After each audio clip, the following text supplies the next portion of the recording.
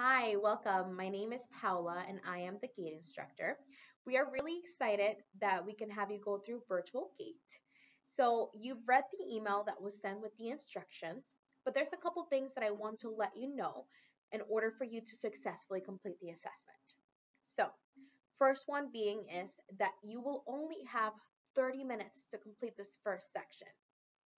You have to input your first name, your last name, and then you're going to put your email you have to check the box so you can say that you agree to the terms and conditions. And once you get started, you'll have a little clock that is going to input how much time you have left. Just be aware of that clock because once the 30 minutes are up, it will automatically log you out. Once you complete this first section, just reply to this email or give us a call or a text so we can get you scheduled for our virtual lecture, which is the last part of this assessment. The virtual lecture typically only lasts about half an hour, and then you have to complete a quiz afterwards.